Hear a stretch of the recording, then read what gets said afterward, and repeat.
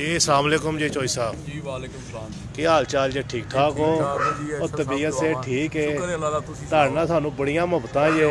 ਸਾਨੂੰ ਵੀ ਤੁਹਾਡਾ ਤੁਹਾਡੀ ਕਮੀ ਤੁਸੀਂ ਆਵੋ ਨਾ ਗਰੁੱਪ ਦੇ ਵਿੱਚ ਤੇ ਬੜੀ ਮਹਿਸੂਸ ਹੁੰਦੀ ਹੈ। ਤੇ ਤੁਹਾਡਾ ਜ਼ਿਕਰ ਗਾਹੇ ਬਹਾਏ ਚੱਲਦਾ ਹੀ ਰਹਿੰਦਾ ਹੈ ਤੁਹਾਡਾ ਜ਼ਿਕਰ ਖੈਰ ਹੁੰਦਾ ਹੀ ਰਹਿੰਦਾ ਹੈ। ਸਾਰੇ ਭਰਾਵਾਂ ਦੀ। ਤੇ ਨਾਲੇ ਮੇਰੇ ਉਸਤਾਦੇ ਮੁਹਤਰਮ ਇਮਰਾਨ ਸਾਹਿਬ ਜਿਹੜੇ ਨੇ ਉਹ ਅਹ, ਕਿਸੇ ਤਾਰਫ ਦੇ ਮੁਤਾਜ ਨਹੀਂ ਔਰ ਨਾ ਜਿਹੜਾ ਨਾ ਹੋਰ ਕੋਈ ਕੋਈ ਐਸੇ ਵਰਲਡ ਦੇ ਉੱਤੇ ਮਾਸ਼ਾਅੱਲਾ ਇਸ ਲਈ ਫੇਮਸ ਨੇ। ਤੇ ਅਸੀਂ ਖੁਸ਼ਕਿਸਮਤੀ ਆਪਣੀ ਸਮਝਨੇ ਆ ਜੀ ਸਾਨੂੰ ਐਡੇ ਅੱਛੇ ਉਸਤਾਦ ਮਿਲੇ ਨੇ। ਔਰ ਸਭ ਤੋਂ ਵੱਡੀ ਗੱਲ ਇਹ ਵੇ ਕਿ ਉਹ ਅੱਛੇ ਉਸਤਾਦ ਤੇ ਨਾਤੇ ਇੱਕ ਅੱਛੇ ਇਨਸਾਨ ਵੀ ਨੇ ਨਾਲ ਕੀ ਬਾਤ ਹੈ ਅੱਛਾ ਇਨਸਾਨ ਹੋਣਾ ਹੀ ਸਭ ਤੋਂ ਵੱਡੀ ਗੱਲ ਹੈ ਆਲਾ ਗੱਲ। ਇਹ ਚੋਈ ਸਾਹਿਬ ਪਹਿਲੇ ਵੀ ਜ਼ਿਕਰ ਕਰਦੇ ਹੁੰਦੇ ਨੇ ਜੀ। ਕੋਈ ਗਿਲਾ ਸ਼ਿਕਵਾ ਹੋ ਜਾਵੇ ਨਾ ਤੇ ਫਿਰ ਇਹ ਸਾਨੂੰ ਕਹਿੰਦੇ ਹੁੰਦੇ ਤੜੀ ਲਾਉਂਦੇ ਹੁੰਦੇ। ਅਰਸ਼ਦ ਸਾਹਿਬ ਇਹ ਬੜੇ ਅੱਛੇ ਇਨਸਾਨ ਜੀ। ਮੈਂ ਕਹਿੰਦਾ ਜੀ ਬਿਲਕੁਲ ਠੀਕ ਹੈ ਬਿਲਕੁਲ ਜੀ ਜੋ ਫਿਰ ਇਨਸਾਨ ਦੀ ਕੁਆਲਿਟੀਆਂ ਉਹਨੂੰ ਬਿਆਨ ਕਰਨੀਆਂ ਚਾਹੀਦੀਆਂ ਨੇ। ਤੇ ਉਹ ਵਾਕਈ ਕਾਬਲੇ ਤਾਰੀਫ ਨੇ ਜੀ। ਮੈਂ ਫਖਰ ਮਹਿਸੂਸ ਕਰਨਾ ਕਿ ਮੈਂ ਇਹੋ ਜਿਹੇ ਅੱਛੇ ਉਸਤਾਦਾਂ ਦੇ ਨਾਲ ਮੇਰਾ ਤਲਕ ਹੈ ਔਰ ਮੈਂ ਉਹਨਾਂ ਦਾ ਸ਼ਾਗਿਰਦ ਹਾਂ ਮੈਨੂੰ ਇਸ ਗੱਲ ਤੇ ਫਖਰ ਹੈ ਜੀ ਮਾਸ਼ਾਅੱਲਾ। ਲੋ ਜੀ, ਇਹ ਇਹਨਾਂ ਦੀ ਛੱਤ ਦਾ ਵਿਊ ਜੇ। ਕੁੱਤੇ ਛੁੱਤੇ ਵੀ ਇਹਨਾਂ ਨੇ ਰੱਖੇ ਨੇ ਇੱਥੇ। ਇਹ ਰੋਕਣ ਵਾਸਤੇ ਨੇ। ਉਹ ਉੱਤੇ ਟਾਪਾਂ ਲੱਗੀਆਂ, ਉੱਡਣ ਵਾਸਤੇ ਬਾਜ਼ੀ ਮੇਕਰ ਛੱਤ ਹੈ ਸਾਰੇ। ਇਹ ਸਾਰੇ ਥੱਲੇ ਜੋੜਿਆ ਵਾਸਤੇ ਖੁੱਡੇ ਨੇ ਇਹਨਾਂ ਦੇ। ਇਹ ਪੰਜ ਖੁੱਡੇ ਜਿਹੜੇ ਨੇ। ਇਹ ਲੈਨ ਸਿਰ ਜਿਹੜੇ ਨੇ। ਇਹ ਸਾਰੇ ਖੁੱਡੇ ਨੇ। ਦੋ ਇਹਨਾਂ ਨੇ ਉਹ ਸਾਬਰ ਸਾਹਿਬ ਤੁਹਾਡੇ ਮਾਵਤ ਕਿੱਥੇ ਨੇ ਜੀ? ਉਹ ਵੀ ਇਹਨਾਂ ਨੇ ਰੱਖੇ ਨੇ, ਇੱਧਰ ਇਹ ਇਹਨਾਂ ਨੇ ਜੋੜੇ ਲਾਏ ਨੇ ਟੋਲੀ ਵਾਲੇ ਰੱਖਣ ਵਾਸਤੇ। ਅੱਛਾ ਹਦਰ ਮੀਆਂ ਸਾਹਿਬ ਨੇ। ਲੋ ਜੀ ਵਾਲੇਕੁਮ ਸਲਾਮ ਜੀ। ਸਾਜੀ, ਕੀ ਹਾਲ ਚਾਲ ਹੈ? ਠੀਕ ਠਾਕ ਹੋ? ਤਬੀਅਤ ਸੇ ਠੀਕ ਹੈ? ਤੁਸੀਂ ਬੜੇ ਮੁਸਕਰਾ ਰਹੇ ਹੋ। ਨਦੀਮ ਦਾ ਸਾਹਿਬ ਖਾ ਕੇ ਬੜਾ ਖੁਸ਼ ਹੋ ਰਹੇ ਜੀ। ਸੋਰੀ ਨਦੀਮ ਸਾਹਿਬ ਬੜੀ ਮੁਹੱਬਤ ਕਰਦੇ ਨੇ ਹਾਂਜੀ। ਇਹਨਾਂ ਦੀ ਮੁਹੱਬਤ ਹੀ ਹੈ ਕਿ ਅਸੀਂ ਅਕਸਰ ਹੀ ਸਾਡਾ ਮਹੀਨੇ ਚ ਕਿਤਾ ਚੱਕਰ ਲਾਜ਼ਮੀ ਕਰਦਾ ਜੀ ਜੀ। ਅਸੀਂ ਨਾ ਹੀ ਤੇ ਫਿਰ ਬੜਾ ਸ਼ਰਾਰ ਕਰਦੇ ਨੇ ਮੁਹੱਬਤ ਕਰਦੇ ਨੇ ਪਿਆਰ ਕਰਦੇ ਨੇ। ਤੇ ਅਲਹਮਦੁਲਿਲਾ ਇਹਨਾਂ ਦੇ ਕੋਲ ਬੜੀ ਅੱਛੀ ਕਲੈਕਸ਼ਨ ਹੈ ਪਰਿੰਦਿਆਂ ਦੀ। ਜੀ ਜੀ। ਤੇ ਔਰ ਇੱਕ ਅੱਛੀ ਹਾਲਾਤ ਦੇ ਵਿੱਚ ਤੁਸੀਂ ਕਾਫੀ ਦਫਾ ਤਿੰਨ ਚਾਰ ਦਫਾ ਤੇ ਮੈਂ ਤੁਹਾਡੇ ਨਾਲ ਇੱਥੇ ਵਿਜ਼ਿਟ ਕਰਦੇ ਆ। ਜੀ ਬਿਲਕੁਲ। ਤੁਸੀਂ ਦੱਸ ਦਿਓ ਇਹਨਾਂ ਕੋਲ 1500 ਤੋਂ 2000 ਕਬੂਤਰ ਸੀ ਫਸਟ ਟਾਈਮ ਲੇਕਿਨ ਹੁਣ ਇਹਨਾਂ ਨੇ ਨਾ ਤਕਰੀਬਨ ਕੋਈ 50 ਤੋਂ 100 ਮੇੜਾ ਲਾਇਆ ਬੜਾ ਅੱਛਾ ਸਿਲੈਕਟ ਕਰਕੇ। ਜੀ। ਤੇ ਰਿਜ਼ਲਟ ਵੀ ਉਹਨਾਂ ਦਾ ਬੜਾ ਅੱਛਾ ਆ ਰਿਹਾ। ਉਹ ਸ਼ੋਅ ਕਰਨ ਦਾ ਵੀ ਮਜ਼ਾ ਆਉਂਦਾ। ਜਦੋਂ ਅੱਛੇ ਪਰਿੰਦੇ ਅੱਛੇ ਆਉਂਦੇ ਨੇ ਜਿਹੜਾ ਕਬੂਤਰਬਾਜ਼ ਅੱਛਾ ਕਬੂਤਰ ਦਾ ਸ਼ੋਅ ਕਰਨ ਵਾਲਾ ਹੈ, ਉਹਨੂੰ ਵੈਸੇ ਇੱਕ ਖੁਸ਼ੀ ਫੀਲ ਹੁੰਦੀ ਹੈ। ਤੇ ਉਹ ਅਸੀਂ ਦੋਸਤਾਂ ਨੂੰ ਨਾਲ ਨਾਲ ਸ਼ੋਅ ਕਰਾਵਾਂਗੇ ਤੁਹਾਨੂੰ ਮਜ਼ਾ ਆਏਗਾ ਕਬੂਤਰ ਦੇਖ ਕੇ। ਇਹ ਉਹਨੇ ਇੱਕ ਜੋੜਾ ਹੈ ਚੱਲੀ ਵਾਲਾ ਬਹੁਤ ਮਜ਼ੇਦਾਰ ਜੋੜਾ ਹੈ। ਯਾਨੀ ਦਿਲ ਕੀਤਾ ਕਿ ਇਹਦਾ ਸ਼ੌਕ ਲਾਜ਼ਮੀ ਕਰਵਾਈਏ। ਜ਼ਰੂਰ ਕਰਾਓ ਜੀ ਸ਼ੌਂਕ ਹੋਰ। ਇਹਦੇ ਬਾਰੇ ਸਾਨੂੰ ਦੱਸਣਾ ਵੀ ਜੇ। ਤੇ ਮੈਂ ਕਹਿੰਦਾ ਕਿ ਦੇਖਣ ਵਾਲਿਆਂ ਨੂੰ ਨਾ ਫਾਇਦਾ ਹੋਣਾ ਚਾਹੀਦਾ ਦੋਸਤਾਂ ਨੂੰ ਕਿ ਜੋੜਾ ਕਿਸ ਤਰ੍ਹਾਂ ਲਾਣਾ ਚਾਹੀਦਾ ਹੈ।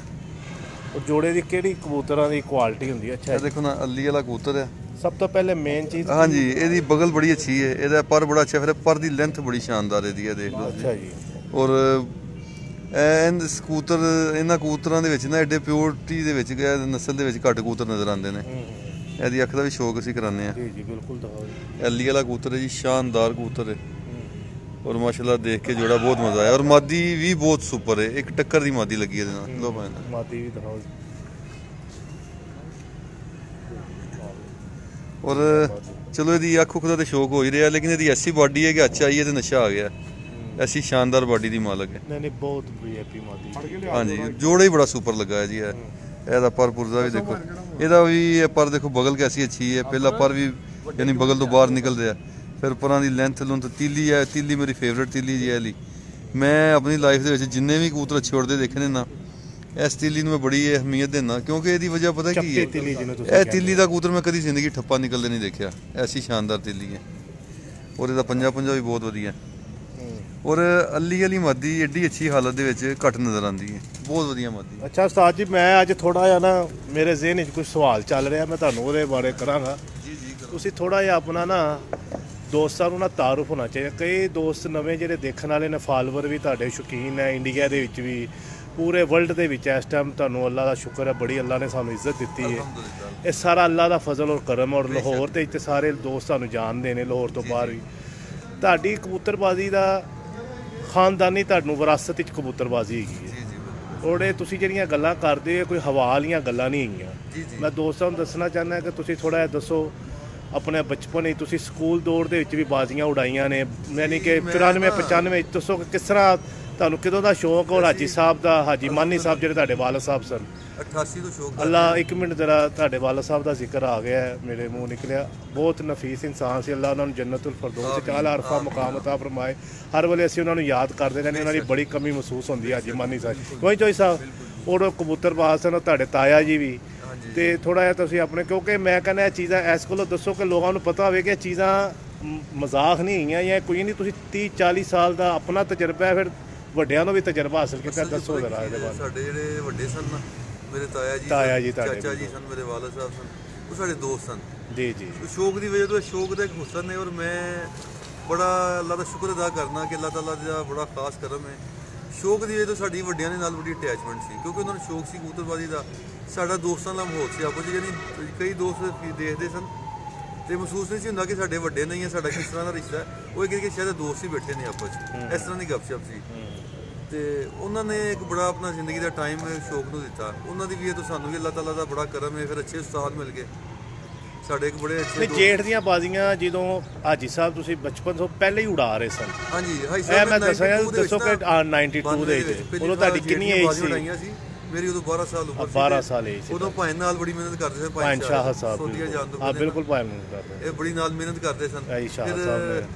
ਅਸੀਂ ਇਹ ਵੀ ਉਸਤਾਦ ਨੇ ਜੀ। ਹਾਂਜੀ ਹਾਂਜੀ। ਇਹ ਵੀ ਉਸਤਾਦ ਨੇ ਵੱਡੇ ਭਾਈ ਨੇ ਸਾਡੇ ਤੇ ਉਸਤਾਦ ਨੇ ਉਸ ਤੋਂ ਬਾਅਦ ਅਸੀਂ ਤਾਇਆ ਜੀ ਦੇ ਬੇਟੇ ਨੇ ਜਿਨ੍ਹਾਂ ਦਾ ਜ਼ਿਕਰ ਕਰ ਰਹੇ 92 ਚ ਜੇਠ ਪਹਿਲੀ ਦਫਾ ਉਡਾਇਆ ਔਰ 94 5 ਦੀ ਗੱਲ ਹੈ ਮੈਂ ਸਕੂਲ ਪੜ੍ਹਦਾ ਸੀ 8ਵੀਂ ਕਲਾਸ ਜੀ ਜੀ 8ਵੀਂ ਕਲਾਸ ਤੇ ਉਦੋਂ ਮੈਂ ਸ਼ਾਹਪੁਰ ਜਾ ਕੇ ਫਸਟ ਟਾਈਮ ਬਾਜ਼ੀਆਂ ਉਡਾਈਆਂ ਸੀ ਮੇਰੇ ਚਾਚਾ ਜੀ ਦੇ ਦੋਸਤ ਉਹਨਾਂ ਦੀਆਂ ਯਾਨੀ ਸਕੂਲ ਬੈਗ ਪਾਉਂਦਾ ਸੀ ਤੇ ਮੈਂ ਉੱਥੇ ਸ਼ਾਹਪੁਰ ਚਲਾ ਜਾਂਦਾ ਸੀ ਬਾਜ਼ੀਆਂ ਉਡਾਉਣ ਆ ਬੜਾ ਯਾਦਗਾਰ ਵਾਕਿਆ ਬੜੀ ਹੈ ਪੁਰਾਣੀ ਗੱਲ ਹੈ ਉਦੋਂ ਮੈਂ ਖੁਦ ਸਕੂਲ ਪੜ੍ਹਨਾ ਸਾਂ।